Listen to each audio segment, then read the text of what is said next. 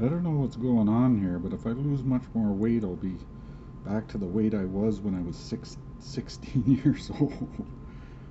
I'm going to just disappear pretty soon, maybe. But if you watch some of these old videos, and some of the newer ones on here, it's like there's an everlasting lifetime movie. And um, I don't know what's what the big guy is gonna do next. It's like every day is just wow. Gotta keep my eyes peeled. But I have a good movie to recommend to you. It's um, it's on Prime Video, and it's called The Healer.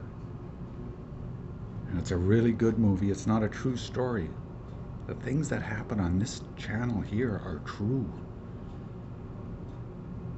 But it's a really emotional, some would call it a chick flick maybe. But uh, it's, it's a good movie. It's uplifting. Okay. Talk to you later.